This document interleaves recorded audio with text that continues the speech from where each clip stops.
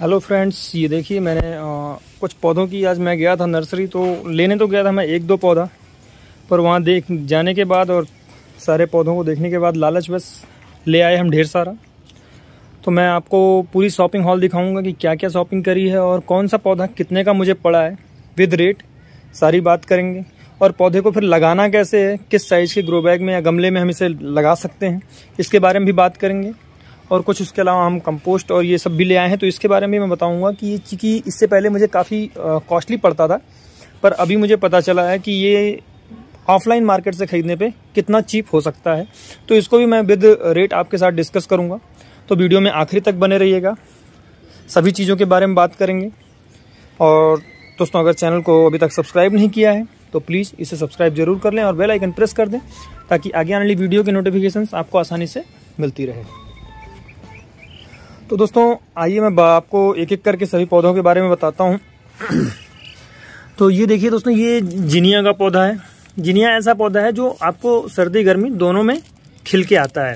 इसमें आपको colour variety काफ़ी ज़्यादा मिल जाती है। मैं फ़िलहाल चार कलर ले आया हूँ। और एक देखिए, ये ये बुश वैरायटी है। छोटे पौधे डॉर्फ में होती है। और ये देखिए, एक बड़ा पौधा है इसका, जीनिया का ही। ये मेरा पांचवा पौधा है। तो मैं इसे भी ले आया। देखने में मुझे कलर अच्छा लग रहा था। ये करीब 20 से 25 रुपए का एक पौधा पड़ा है मुझे। तो आप, जिनिया ये होता तो ऑल टाइम ये समझ लीजिए, इसको सर्दियों में भी खिलता है, पर गर्मियों में इसका लुक और इसका कलर ज़्यादा निखर के आता है। अच्छी फ्लोरिंग इसमें होती है। और अभी टेम्परेचर हमारे यहाँ फोर्टी प्लस हो गया है तो इसमें और फ्लोरिंग अच्छी इसमें आएगी। तो ये कुछ चार पौधे हमने जीनिया के लिए रखे हैं। इसके बाद मैं आपको दिखाऊँ ये देखिए सदाबहार। सदाबहार ऑलरेडी मेरे पास दो तीन कलर के हैं। जिसका वीडियो मैंने अपलोड भी किया है कि सदाबहार विनका प्लांट की केयर कैसे करें। फुल डिटेल वीडियो है, अगर आप देखना चाहते हैं तो वहाँ जाके देख सकते हैं। एक एक पौधे में हज़ारों फूल लगे हुए हैं उसमें। तो ये कुछ कलर मुझे पसंद आ गए तो मैंने इसे और ले लिया, चूँकि सदाबहार भी परमानेंट पौधा है। ऐसा नहीं है कि एक सीज़न के बाद ये ख़राब हो जाएँगे। तो इन्हें भी मैंने ले लिया है। ये, इनके फूल इतने ज़्यादा अच्छे होते हैं कि ये गार्डन का लुक काफ़ी अच्छे से बढ़ा देता है। और फिर दोस्तों, ये जो मैं बता रहा हूँ, ये सारे पौधे इन्हें आप आठ से दस इंच के गमले में आराम से लगा सकते हैं चाहे जिनिया हो या विनका प्लांट हो। या फिर इधर आ, मैं आपको दिखाऊँ ये सेलोसियस फैमिली के पौधे हैं। दो कलर इसमें भी मैंने लिया हुआ है। एक ये रेड में है और ये येलो में है। देखने में ये भी काफ़ी अच्छे लग रहे हैं इनके फ्लावर्स आप देखिए। काफ़ी अच्छे से निखर के खिल के आते हैं। जब ये थोड़ी और मेच्योर हो जाएँगे पौधे तो ये पूरे फूलों से भर जाएँगे और ये अपने गार्डन की खूबसूरती को और बढ़ा देंगे चार चाँद लगा देंगे। तो ये भी पच्चीस पच्चीस रुपए के एक एक पौधे मुझे सारे पड़े हैं। आप अपने यहाँ के लोकल नर्सरी में जाके पता कर सकते हैं। हो सकता है कुछ रेट ऊपर नीचे हो सकता है, पर ये छोटे छोटे जो पॉली बैग में लगे होते हैं, ये पौधे इतने के ही आते हैं। तो इन्हें आप अपने गार्डन में जगह दे सकते हैं। और इन सब के लिए आपको आठ से दस इंच का जो पॉट है वो सफिशियंट होता है। बस इन्हें फुल सनलाइट में रखिए, इन्हें वाटरिंग करते रहिए। वाटरिंग का ख्याल करते रहेंगे, अच्छे से वाटरिंग देते रहेंगे। तो ये सारे पौधे पूरी गर्मी आपके गार्डन में अच्छे से फ्लोरिंग देते रहेंगे और आपके गार्डन में काफ़ी ज़्यादा खूबसूरती ऐड करते रहेंगे। फिर दोस्तों, उसके बाद मैं आगे बढ़ता हूँ। तो फिर ये बोगन बिलिया का है। मेरे पास ऑलरेडी तीन कलर पड़े हुए हैं। लगा रखे हैं मैंने, मैं आपको दिखाता हूँ। इधर देखिए, ये वाइट पिंक में है और ये फुल पिंक में है और ये इधर कुछ पर्पल कलर का है। तो इनमें ढेर सारे फूल निकल रहे हैं। तो मुझे ये बिल्कुल प्योर वाइट कलर एक पसंद आ गया तो मैंने इसे भी ले लिया है। ये चूँकि कटिंग से ग्रो की गई है तो मुझे चालीस रुपये में एक पौधा मिल गया है तो मैंने ले लिया, मुझे अच्छा लग रहा था। तो इसे भी, इसे आप बारह इंच के गमले में लगाएँ तो इसमें अच्छी ग्रोथ दिखेगी आपको। और फुल सनलाइट में रखें, हार्डी प्लांट है, आप इसे वाटरिंग दिन में एक बार कर दें इसके लिए सफिशियंट होता है। फिर दोस्तों, अब इससे आगे बढ़ता हूँ मैं तो ये देखिए ये गुड़हल का पौधा है। बुस वैरायटी डॉर्फ वैरायटी का है। डॉर्फ वैरायटी में क्या होता है, पौधे आपके ज़्यादा बड़े होते नहीं हैं। करीब एक से डेढ़ फुट के पौधे होते हैं और ढेर सारे फूल इसमें लगते हैं। तो ये थोड़ा कॉस्टली पड़ा है मुझे, डेढ़ सौ रुपये के आसपास का एक पौधा पड़ा है। और एक एक एक गमले में आप देखें दो दो पौधे लगे हुए हैं, अगर दिखाई दे रहा हो तो। तो इसमें ढेर सारी, देखिए, आप कलियाँ ले रखी हैं। पर आपको ऐसा पौधा नहीं लेना है जो कलियाँ, आपको मज़बूत पौधा देख के लेना है। अगर नीचे से पौधा मज़बूत है तो कलियाँ ऊपर बाद में भी आ जाएँगी। तो इस प्रकार देखिए, मैंने दो पौधे लिए हैं। ये एक येलो में है और ये वाइटिस है। इसमें एक फूल लगा था, वो गिर गया है। ये देखिए। तो आप गुड़हल मैंने लिया हुआ है और ये भी पूरी गर्मी फ्लोरिंग करते रहेंगे हमारे गार्डन में। इसे भी लगाने के लिए हमें चाहिए कम से कम बारह इंच का पॉट। बारह इंच के पॉट में या उससे अधिक, उससे बड़े पॉट में लगाते हैं। तो इसमें काफ़ी अच्छी फ्लोरिंग देखने को मिलती है।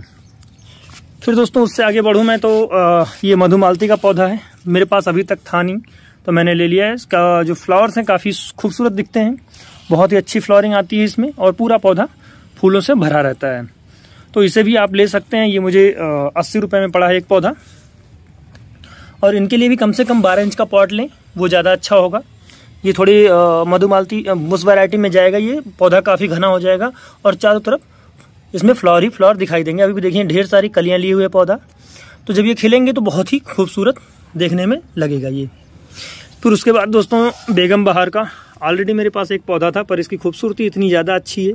और कलर भी इसका इतना निखर के आता है। तो मुझे एक प्लांट मैं और ले आया इसका। इसके लिए भी कम से कम 12 इंच का पॉट रखें। और वाटरिंग करते रहें इसमें। बेगम बहार की केयर कैसे करें? इसकी डिटेल वीडियो मेरे चैनल पे अपलोड है, आप वहाँ जाके देख सकते हैं। इसके लिए भी 12 इंच का पार्ट रखें और वाटरिंग का ख्याल रखें। इसमें भी आपको पूरी गर्मी, मानसून सीज़न के सर्दियाँ स्टार्ट होने तक इसमें अच्छी फ्लावरिंग आपको मिलती रहेगी। इवन उसके बाद भी ये परमानेंट पौधे हैं जो मैं आपको दिखा रहा हूँ अभी फ़िलहाल इस समय। ये सारे के सारे परमानेंट फ्लावर प्लांट्स हैं, जिन्हें आप नेक्स्ट सीज़न के लिए भी आराम से रख सकते हैं। ये पौधे ख़राब नहीं होंगे। फिर दोस्तों जो नेक्स्ट पौधा है हमारा फ्लावरिंग प्लांट ये देखिए फूल कितने अच्छे इसमें देखने में लग रहे हैं। और क्रॉसेंड्रा इस पौधे का नाम है, इसे फायर क्रैकर भी बोलते हैं। ये ढेर सारे फूल गुच्छों में खिल के आते हैं। तो एक ही गुच्छा है देखिए इसमें, और इसी में नीचे से कई सारे फ्लावर्स निकल के आ रहे हैं। मैं दिखाऊँ आपको, देखिए, दिखने में कितना सुंदर है और कलर भी कितना प्यारा लग रहा है इसका।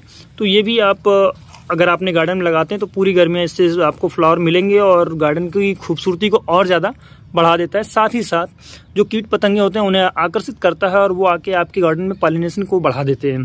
तो इस लिहाज से भी ये पौधा बहुत खूबसूरत है, या फिर जो भी फ्लावरिंग प्लांट्स हैं, इस लिहाज से भी काफ़ी गार्डन के लिए उपयोगी होते हैं। इसे भी आप कम से कम दस से बारह इंच के गमले में लगाइए और ढेर सारी फ्लावरिंग पूरी गर्मियाँ लेते रहिए। तो दोस्तों, ये कुछ फ्लावर प्लांट्स थे जिन्हें कि हम ले आए हैं। नर्सरी विज़िट में। और इन्हें ट्रांसप्लांट कैसे करना है, इसके लिए सॉयल मिक्स कैसे बनानी है, सारी चीज़ें हम अगले वीडियो में बताएँगे, क्योंकि इस वीडियो में अगर हम सारी चीज़ें बताने लग गए तो वीडियो काफ़ी लंबी हो जाएगी। तो नेक्स्ट वीडियो में हम इसे ट्रांसप्लांट करेंगे। सॉयल मिक्स कैसे बनाएँ इसके लिए गर्मियों के मौसम में, और किस साइज़ के ग्रो बैग में लगाना है, ये तो हमने आपको बता ही दिया है। तो कैसे इसे ट्रांसप्लांट करना है, क्या सावधानियाँ बरतनी है नेक्स्ट वीडियो में इसके बारे में बात करेंगे। अब हम आ जाते हैं अपने जो कंपोस्ट हम लेके आए हैं। मैं आपको दिखाऊँ, ये देखिए, ये वर्मी कंपोस्ट है। ये मेरे को काफ़ी अच्छी वर्मी कंपोस्ट मिल गई, मैं दिखा रहा हूँ आपको। ये देखिए। जी। इसका टेक्सचर देखिए, कितना अच्छा है। अभी तक क्या होता था दोस्तों, मैं लोकल मार्केट में ही, एक जगह थी जहाँ से मैं लेके आता था तो मुझे उसमें काफ़ी पसंद नहीं आ रहा था वो। उतनी अच्छी ग्रोथ भी नहीं उस कंपोस्ट से मिल रही थी। तो मैं गया था शॉपिंग करने, अचानक से मेरी नज़र एक एग्रीकल्चर शॉप पे पड़ गई, जहाँ से मुझे ये कंपोस्ट मिली है और इसका टेक्सचर भी काफ़ी अच्छा है और ये काफ़ी अच्छे से डिकम्पोस्ट भी हो चुकी है। तो ये मुझे और चूँकि काफ़ी सस्ता भी पड़ गया, ये आप देखिए पच्चीस किलो की बोरी है, डेढ़ सौ रुपये में पड़ गया मुझे। तो अगर आप भी कहीं गार्डनिंग कर रहे हैं तो ये चीज़ें देखिए, ध्यान में रखिए और इन्हें देख लीजिए आसपास जो एग्रीकल्चर स्टोर है, वहाँ पता कर लीजिए, फिर लीजिए, क्योंकि इसमें हम काफ़ी ज़्यादा ठगे जाते हैं। टेरेस गार्डनिंग करते हैं तो कई जगह पे ऐसा होता है कि वो मिट्टी और कंपोस्ट को मिला के गोबर खाद मिला के भी बेच देते हैं सब। तो इस चीज़ को देखिए अवेयर रहिए। इसके अलावा दोस्तों, ये है नीम की खली। ये भी मुझे काफ़ी सस्ती पड़ गई है। ये दोस्तों, नीम की खली अभी तक मैं ऑनलाइन मंगाता था तो डेढ़ सौ रुपये के आसपास किलो मिलती थी। अभी मैं ये पचास रुपये किलो लेके आया हूँ। और ये देखिए, कितनी अच्छी। इसमें से खुशबू भी काफ़ी अच्छी नीम की आ रही है। तो ये भी मुझे काफ़ी सस्ता पड़ गया, मैं पाँच किलो ये भी ले आया हूँ। और इन्हें मैं कंपोस्ट बना के, ये एक बार की कंपोस्टिंग के लिए मेरे सारे कंपोस्ट हैं। इन्हें कंपोस्ट करना है, अपने सारे पौधों में कंपोस्ट देना है तो ये सारी चीज़ें मिला के मैं दूँगा तो इसकी भी वीडियो में आप लोगों के साथ साझा करूँगा कि कंपोस्ट में क्या क्या मिला के हमें देना चाहिए, कैसे देना चाहिए, कितनी मात्रा में कौन सी कौन सी चीज़ मिलानी चाहिए। तो अगली वीडियो इसकी भी बनाऊँगा तो मैं आप लोगों के साथ साझा ज़रूर करूँगा। उसके अलावा दोस्तों, मैं ये देखिए बोन बिल की शॉपिंग भी कर ली है हमने। ये भी मुझे पचास रुपये के के हिसाब से मिला है। ऑनलाइन अगर आप परचेज करते तो डेढ़ सौ दो सौ के आसपास प्रति केजी पड़ती है। तो आप लोग कोशिश कीजिए, अगर आपके लोकल मार्केट में कहीं एग्रीकल्चर स्टोर पे मिल जाए तो आप वहाँ से लीजिए।